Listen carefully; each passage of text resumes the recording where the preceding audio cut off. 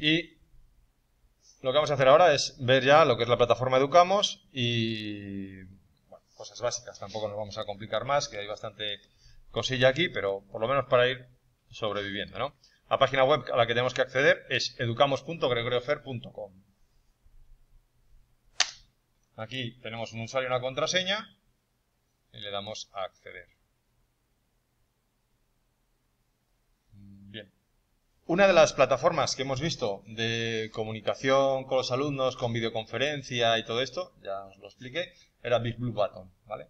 Era eh, learning.gregoriofer.com a través de esto nos podíamos conectar, que esto está configurado en Moodle para que automáticamente se conecten los alumnos y en fin, eh, podemos hablar con ellos, poner la cámara, audio, chat, etcétera, ¿vale?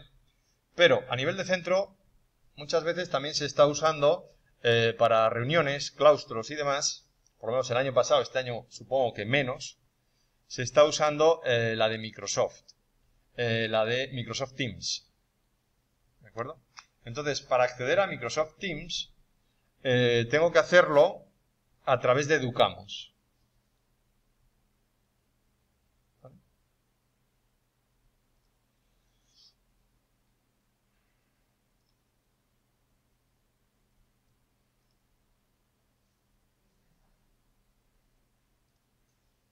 Vale, no lo veía, gracias. En mis mensajes accedemos a mi correo.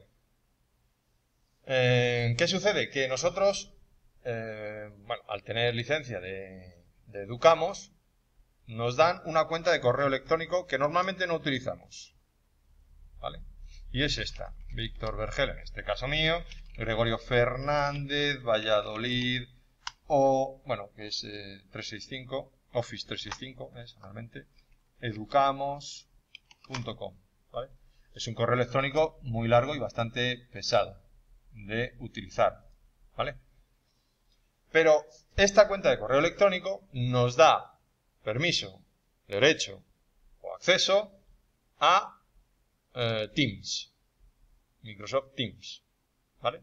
Y ya digo, algunos claustros, bueno, los claustros todos yo creo que se han hecho cuando estábamos en distancia a través de Teams. ¿Vale?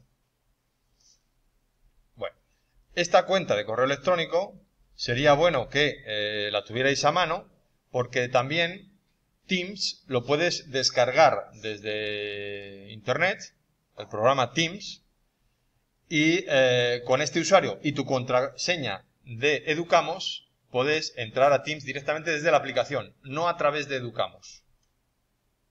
Bien, una vez que hemos entrado en lo que es la cuenta de Outlook, eh, decía que yo tengo, como esta cuenta de correo electrónico no la suelo ver, pues tengo redirigido el correo de esta cuenta tan rara y tan larga, lo tengo redirigido a mi cuenta habitual de Gregorio Fernández y es más rápido de, ver, ¿no?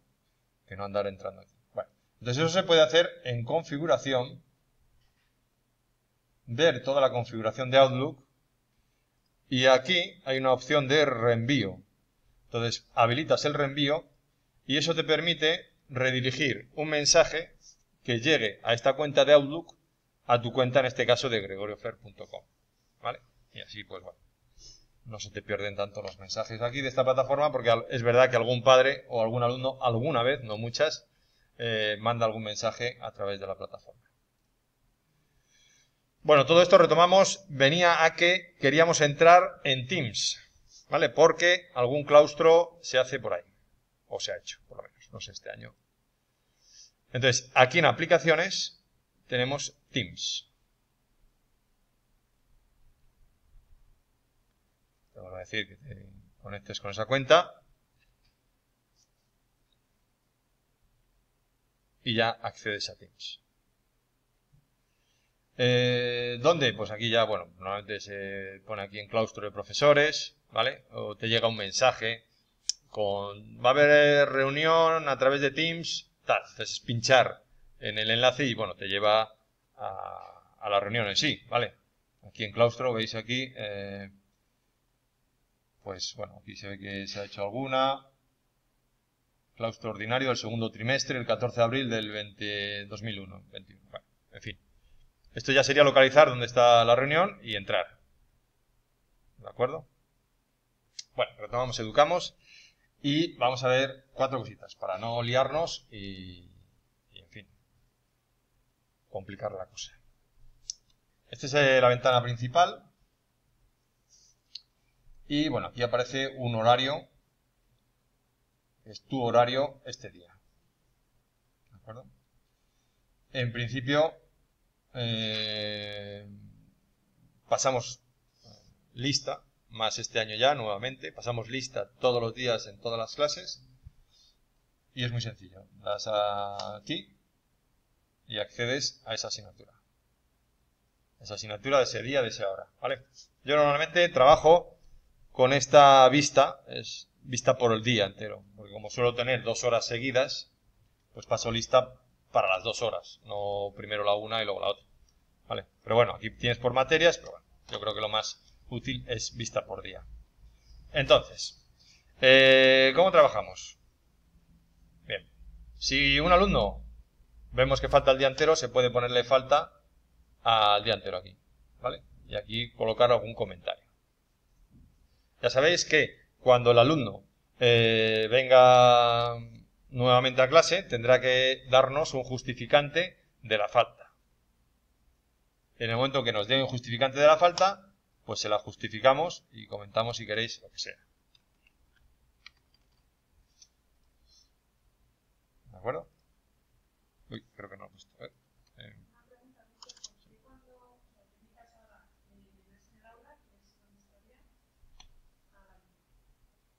Vale. Luego, eh, bueno, si estás equivocado, lo desmarcas hasta tampoco tiene más misterio. No se ha comentado, quizá mañana, pero supongo que también seguimos con el tema de los eh, tres retrasos equivalen en una falta, vamos a decir. ¿Se llegó a quitar, tú crees?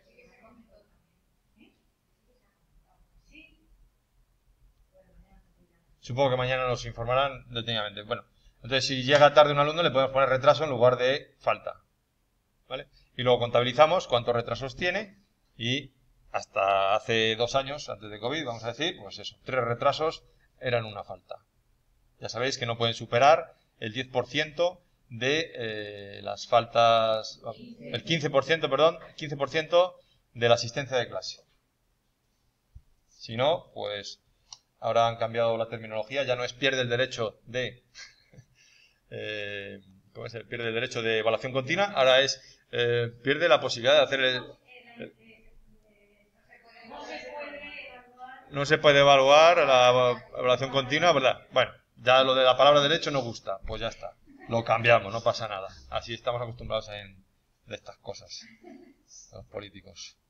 En fin, bueno, pues aquí tienes para ponerle faltas al alumno. El resto de columnas tampoco nos vamos a liar. Con...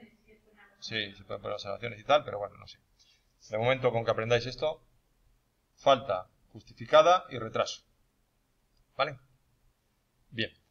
Claro, cuando un alumno ha faltado una semana entera, ¿qué es lo que hay que hacer? Bueno, semana entera, tres días, cuatro, lo que sea. Eh, el alumno, al volver, tiene que enseñar el justificante de la falta a todos los profesores. ¿No? ¿No era así? Sí. Se lo enseña a todos los profesores. Y luego se lo da al tutor, que es el que se lo queda. ¿De acuerdo? Como es falta de varios días, no. Si no eres tutor, no. Eso es. Entonces el tutor ya cuando recibe el justificante sabe que todos los profesores lo han visto, ¿de acuerdo? En teoría, si lo firman la hoja a los profesores, mejor, ¿vale? Bueno, y nosotros el año pasado es que se hizo el tutor mandaba por correo a todos los profesores la justificación que le entregaba al alumno. Lo veíamos al. Eso a lo mejor a nivel de departamento lo hicisteis. Yo, No, de tutoría, recuerdo gestión administrativa y eso no Noemí sí lo hacía. Se lo daban a ella en primera instancia y ella lo, Sobre todo cuando te lo dan online claro. Pues sí, es buena idea, sí. Vale, pues lo hacemos así. Quiero decir que tampoco... El tutor, el tutor recibe eh, la justificación y se la envía escaneada, lo que sea, al resto de compañeros y así ya se enteran también. También, ¿verdad? Porque... No, pero es el tutor el que quita la justificación. Bueno, ojo, ojo, aquí había una, aquí había un paréntesis, vamos a decir, una, una excepción. Si solo ha faltado una hora de un alumno de una clase, ese profesor es el que quita la falta, la justifica. Pero si son varios días, varias horas, ya es el tutor. Era eso lo que decías, ¿no, Mercedes? Eso es.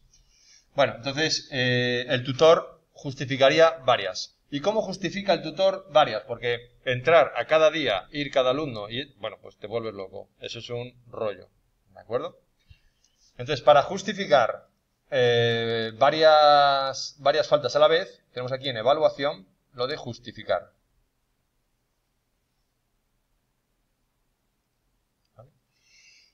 Buscas tu grupo, es decir, vamos a poner, por ejemplo, aquí, Sergio, y buscas el tipo de eh, incidencia, que es ausencia. vas a buscar. Bueno, no me sale ninguna porque no, tengo ninguna incidencia de él, ¿vale? Pero aquí saldría una lista con eh, todos los días que ha faltado. se puede filtrar por fechas. Dame desde desde fecha de inicio. Vamos a ver aquí, por ejemplo, a ver si cojo alguna.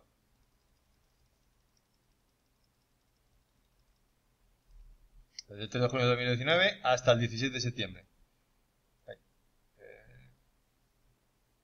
Ah, bueno, aquí te dice eso. Que quieres justificar desde esta fecha hasta esta fecha todas las faltas porque estaba enfermo. Y aquí, pum, le das a justificar y se justifican todas. No tienes que ir día a día mirando la lista de clase, dándole a justificar. Eso nos volveríamos locos, ¿vale? Entonces aquí se justifica varios días, varias asignaturas a la vez. El día completo. ¿Veis aquí que pone? Justificación del día completo.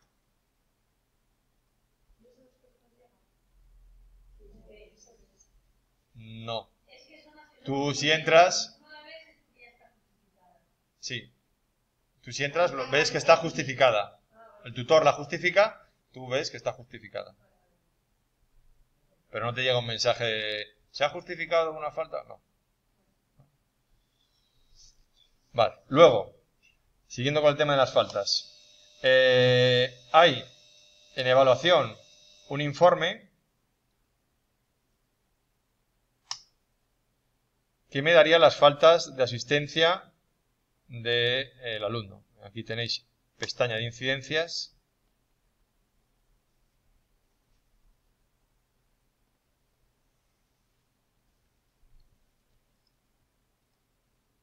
Y tenemos aquí listado de faltas en formato PDF o formato Excel también se puede sacar, que a veces interesa a nivel de Excel contar o cosas así y de qué grupo quieres. Bueno, esto ya es sencillo, ¿vale? Veis aquí estos.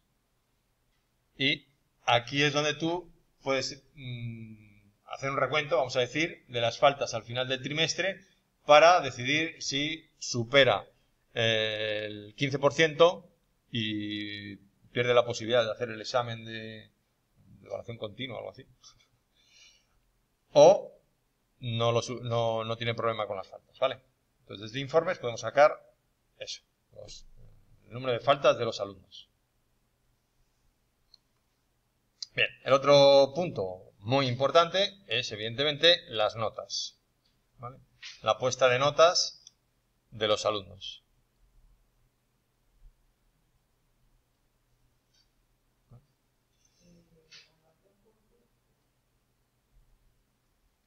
Vale. Eh, bueno, pues aquí vienen las evaluaciones que hay primera evaluación, segunda, tercera, primera final, segunda final. Y tú tienes que ir poniendo las notas a los profesores, ahora digo a los chavales. ¿De acuerdo? Segunda evaluación, tercera evaluación, en fin. Eliges eh, la materia, el ciclo, este tipo de cosas. Hasta ahí, sencillo. ¿Vale? No tiene ningún misterio. Eso sí, siempre acordaros de guardar. Pero vamos. Bueno, Poner notas no tiene misterio. el único misterio que tenemos aquí, podríamos decir, es lo del cuaderno del profesor. El cuaderno del profesor... Sí. El cuaderno del profesor, claro, em, si solo tuviéramos una nota en toda la evaluación y tal, pues es que es muy sencillo. Vienes aquí, primera evaluación, tienes un 8. 9, ya está. Bueno, lo vas poniendo, ya está, no tiene misterio. Pero claro, normalmente, o ninguno yo creo, tiene una, una- sola nota de, del alumno, ¿vale? Tiene varias. ¿Vale? Entonces, ¿cómo trabajamos eh, para, para que ellos vean las notas de los parciales, eh, las notas de lo que es eh, trabajos de clase, asistencia, no asistencia, no, trabajos de clase y eh, actitud y demás? ¿Cómo lo hacemos? Bueno, pues en el cuaderno del profesor. Aquí vamos a poder dividir por trimestres y por mm, parciales las notas de los alumnos.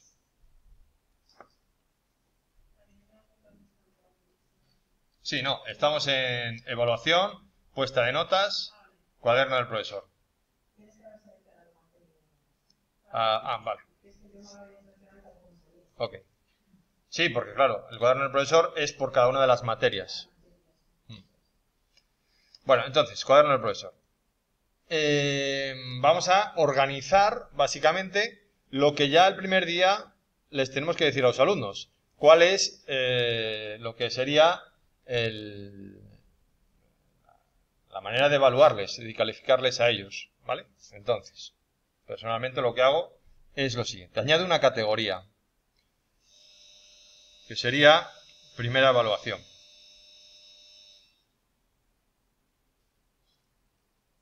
Primera evaluación.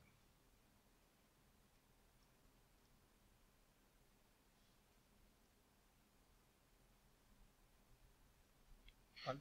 Y dentro de la primera evaluación, de esta categoría, eh, voy a meter los parciales que hago. Entonces, aquí le doy al más, es añadir ítem, que llama,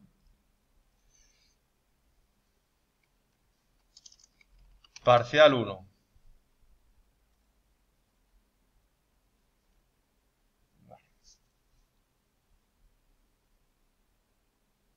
Entonces, eh, ¿cómo juego yo con el tema de los pesos? El peso es qué porcentaje cuenta ese examen en, eh, en este caso, la evaluación. Bueno, pues yo no me complico y lo que hago es ponerlo sobre 100. ¿Vale? Entonces este parcial tiene un 30% de la, de la nota, pues peso 30. Calificación, ¿visible o no visible? Si lo ven los alumnos o no lo ven. En principio lo ven. Eh, ¿Dónde está? En la primera evaluación. Pues nada, guardamos. No he puesto el campo reducido. Parcial 1, es una abreviatura en teoría. ¿Vale? Ya tiene la primera evaluación, parcial 1. Peso 30. ¿Vale? Visible. Vale. Siguiente. ¿Cómo? Bueno, tú decides los parciales tuyos cuánto quieres que valgan en la evaluación. Sobre 100. ¿Vale? Claro, efectivamente, sí. Siguiente, pues parcial 2. Este decido que tenga un 20%. Eh, es visible.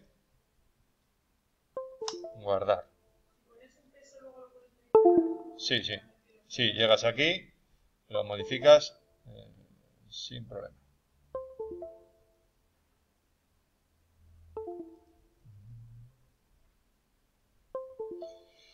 Bien, más. Eh,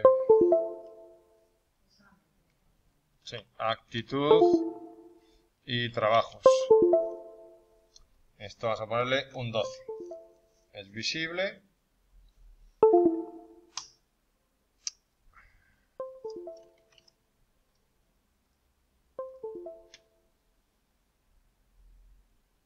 Y vamos a suponer que haces un final que es de evaluación y entra todo, yo que sé. Entonces, eh, tenemos que hacer 30 y 20, 50, 62, 38.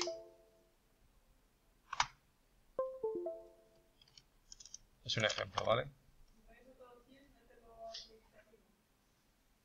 Sí, pero no es lo normal porque como yo creo que todos tenemos una puntuación para trabajos Y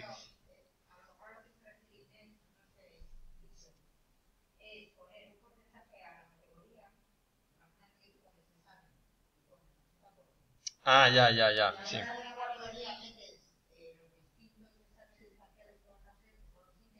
Sí.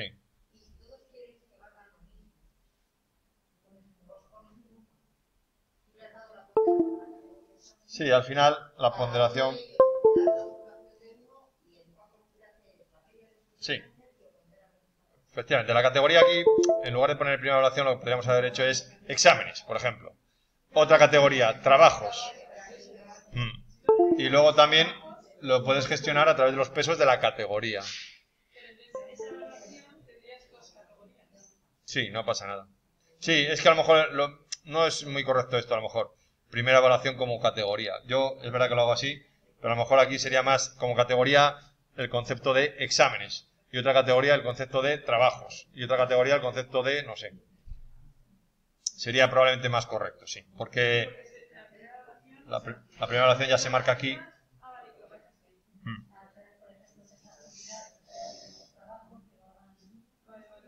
Vale. Vale. Sí, ahora mismo. Vale, entonces veis aquí, ahora ya lo que son el listado con las notas, ya no solo aparece una nota, sino que aparecen el parcial 1, parcial 2, el trabajo y el examen final. Entonces, lo lógico es que si tienes un 10 en todos, ¿vale? Aquí ya pones, pues te tiene que poner un 10 de media. ¿Vale? 10 de media que te sugiere él en la evaluación, nota de la evaluación. Esta nota la podrías cambiar. Si no te gusta la media que hace, la, la puedes cambiar, pero lo normal es que acierta, vamos. Es decir, ah, pues tienes un 8, yo que sé. Te pone un circulito rojo para indicarte que has cambiado manualmente la nota que te, él te sugiere. ¿De acuerdo? Entonces, bueno, dejamos en 10. Que los decimales siempre va un 5,6 es un 6 ahí. ¿no? Sí. Entonces tú puedes poner un 5. Esa es un poco la, la diferencia que puedes hacer manual. Sí. Entonces, por ejemplo, aquí, eh, bueno, desea guardar las notas. Sí, este sería.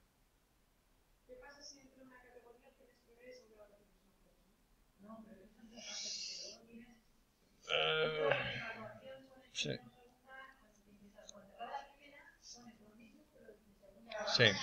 Yo creo que no, no, no va a ese nivel las categorías que abarquen varias, varias evaluaciones. No. Y además, según van pasando las evaluaciones, creo que se bloquea esto. No puedes Claro, eso sí. Ya, tienes que No, pedirle lo tienes que a cambiar. Rosa si necesitas alguna modificación, porque se va bloqueando según Sí, pasando eso es. Bueno, una cosa. eh, estos son los parciales. Eh, el final tiene un 38%. Es decir, teníamos un 62. ¿Vale? Lo lógico es que tenga un 6,2 si en el final sale un 0. ¿Veis? 6,2. Él hace de media un 6. ¿Vale?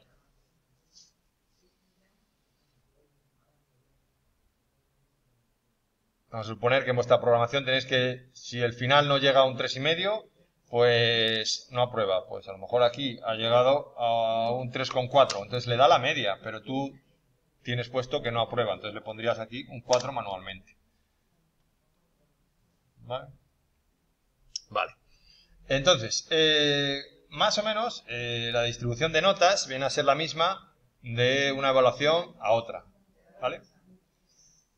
Entonces, en el cuaderno del profesor, yo puedo duplicar lo que tengo en la primera evaluación. ¿Vale? Entonces, cojo aquí, me voy a duplicar y veo que tienes todo esto. Dice, sele- es cuestión de ir leyendo aquí, ¿eh? Seleccione la evaluación origen, primera evaluación. Seleccione la evaluación destino, segunda evaluación. Especifique si desea copiar las notas. Bueno, las notas no. Selecciona los ítems que desea copiar. Todo esto. ¿Vale? Entonces coges y ya has duplicado la, eh, la- el conjunto de notas aquí que tienes. La segunda oración. ¿Vale? Lo que pasa que aquí, ¿veis? Me ha quedado me ha quedado una categoría, no me ha cogido bien la categoría. Entonces voy a añadir la categoría yo, segunda evaluación, aunque lo que estábamos hablando, que a lo mejor era más correcto las categorías dejarlo para trabajos y, y para este tipo de cosas que no eh, exámenes, que no para el concepto de evaluación. Sí.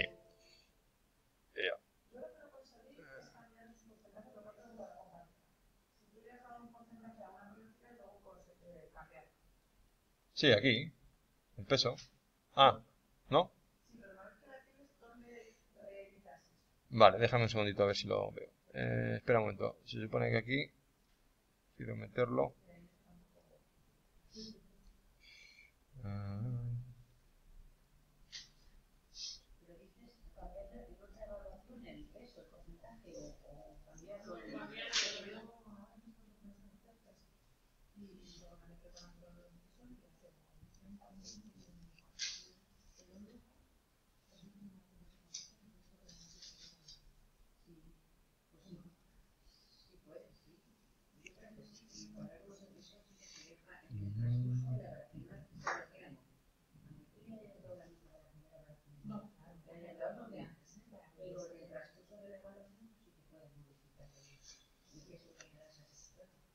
Sí, pues no me deja, eh, digamos, no. Me ha copiado a la segunda evaluación lo que son las, los parciales, los ítems, estos de dentro, pero no lo que es la categoría a la que pertenece. Entonces, bueno, pues no sé, casi que la categoría la dejamos ahí y ya está. Tampoco la podríamos quitar, claro, pero aquí si quito la categoría quito todos los parciales estos. Pues no, no deja, no deja cambiar eso. Y aquí arrastrarlo tampoco me deja para meterlo dentro. De calificación de texto, de evaluación. No, pues entonces olvidaros de la categoría y crear solo estos parciales. Parcial 1, 2 y 3, veis que eso sí está bien. Primera evaluación, segunda evaluación. Al final la categoría solo era solo, es cuestión solo de ordenar, agrupar y tal, que tampoco tiene importancia. Lo importante, pues eso. Parcial 1, parcial 2, trabajo y final. Y evaluaciones. Y aquí otra evaluación. ¿Qué queremos para la tercera evaluación? Pues nada. Le damos a duplicar. De segunda evaluación a tercera evaluación. Sin copiar. Y ya que estamos, vamos a coger solo. No, me deja, me activa todo al final. Entonces lo metemos a tercera evaluación y salen notas aquí para tercera evaluación. Tercer parcial. Vale, pesos. Modificar el peso. Vamos a ver si me deja modificar el peso. Una vez creado. Sí, mira, ahí, 20, Sí, es solo pulsar. Bueno, depende de donde pulses, porque aquí sí. Pero vamos, sí, pulsas y te deja.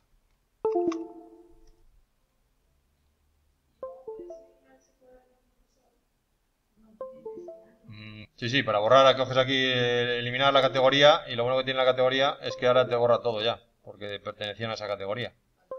¿Vale? Entonces ya estoy en blanco, con el cuaderno en blanco. ¿Vale? Ahora mismo está puesto el curso 21... Ah, pues yo juraría que esto lo han cambiado ya, ahora mismo. Ah, Antes no ponía calendario escolar, 20, ponía 2021, ahora ya está en 21-22, lo han debido cambiar hace poquito.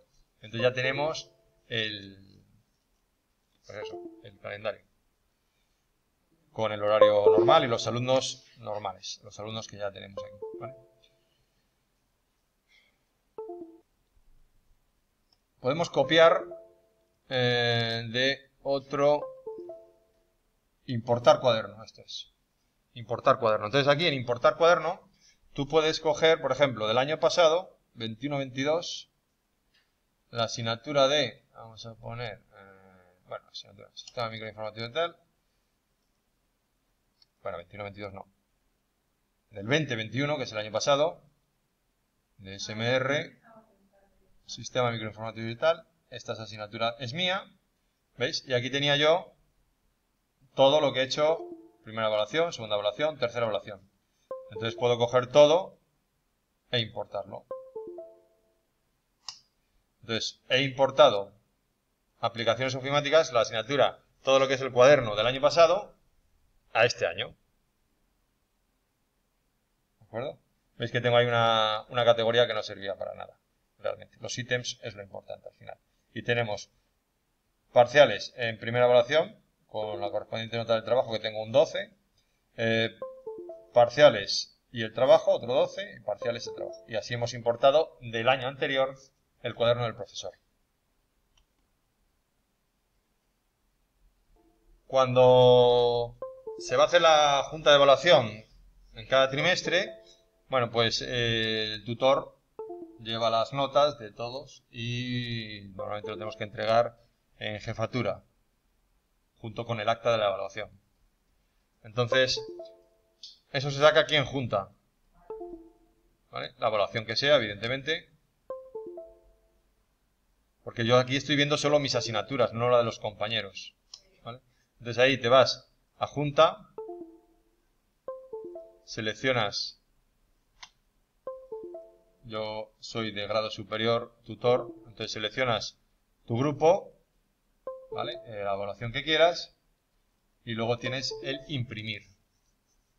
¿vale? Aquí en imprimir, mmm, yo suelo incluir el número de suspensos para que me aparezca el número de suspensos que tiene cada uno y suelo dejarlo en Excel porque luego puedo hacer operaciones matemáticas de contar cuántos tienen más de no sé qué. Bueno, aunque eso lo hace él también, pero bueno. Y si no, en PDF.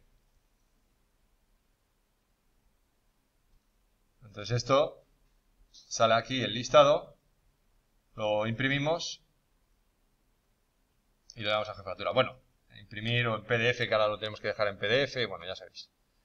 Pero aquí te salen las notas con las asignaturas, profesores y demás. Con el número de suspensos que tiene cada uno, en fin.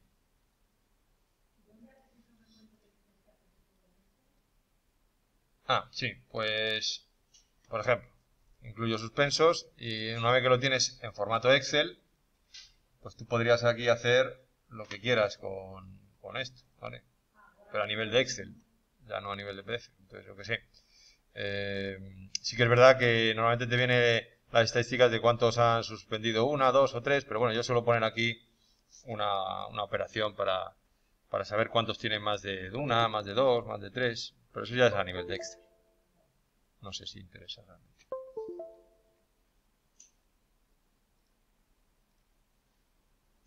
A nivel de tutor también es importante, eh, sobre todo por el tema de la ISO, ir guardando pues todas las reuniones que hacemos con los chicos o con los padres. Bueno, sí. Entonces, eh, creo que los miércoles tengo tutoría aquí. Bueno, pues llegamos aquí a tutoría y eh, editar la tutoría.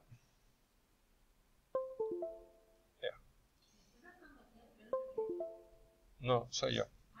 Soy yo, sí. Perdón, voy a ponerlo a nivel eh, horario semanal. Vale, tutoría. Esto es. Aquí en la tutoría, pues pones un poco lo que, lo que has tratado o demás, anotaciones, tareas. ¿Vale? Tareas, por ejemplo, pues no sé.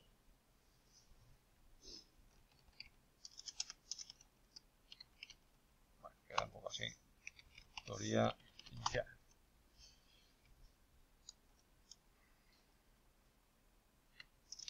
Model, educamos, ta, ta, ta, ta. todo lo que tengas que decirle lo dices ahí y le das a guardar. ¿Vale? Entonces ya te salen las tareas ahí. Bien.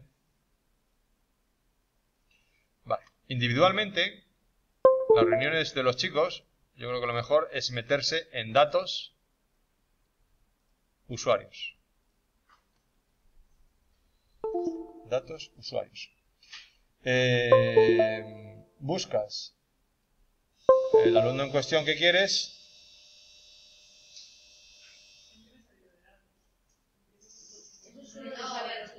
Claro, solo, solo tutores, ¿vale? Bueno, entonces, un alumno cualquiera que tú tengas, vamos a hacer... No, pero me he equivocado, no es a través de datos, perdón. No, desde datos no me deja meterme la reunión esta con el alumno. No, me equivoco. Es el listado, perdón. A ver. Tutoría. Sí, perdón. En datos, eh, perdón, en evaluación, tutoría. En evaluación, tutoría. Ahí es donde puedes poner las entrevistas que estás teniendo con él. Añadir una entrevista. Y, bueno, Sí.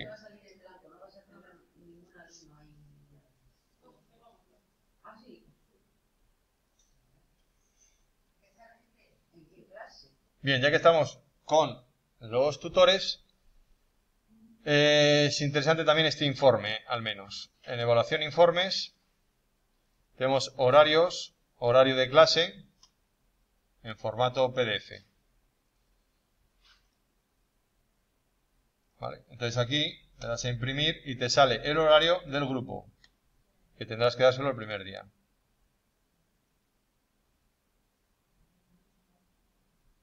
Esto los tutores. Bueno, Pero todos tenemos acceso a. Sí, sí, pero quiero decir que normalmente, Claro, sí.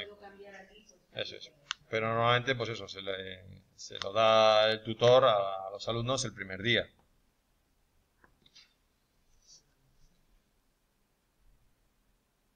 Son informes, listados, horarios. También hay aquí uno interesante, que sería un listado de eh, alumnos.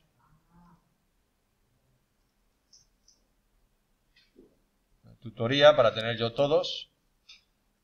Si no, tendría que marcar, porque hay algunos alumnos que no tienen todas las asignaturas, ya sabéis. Y aquí, bueno, pues me sale ese listado de alumnos. Ahora, hay uno que es este de Orlas, que sobre todo al principio no es imprescindible. ¿Vale? Que nos viene el listado con las fotos de los alumnos.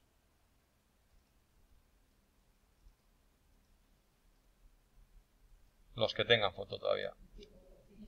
No, bueno, yo creo que ese, que todavía Rosa no los ha metido, están en ello y creo yo que sea eso.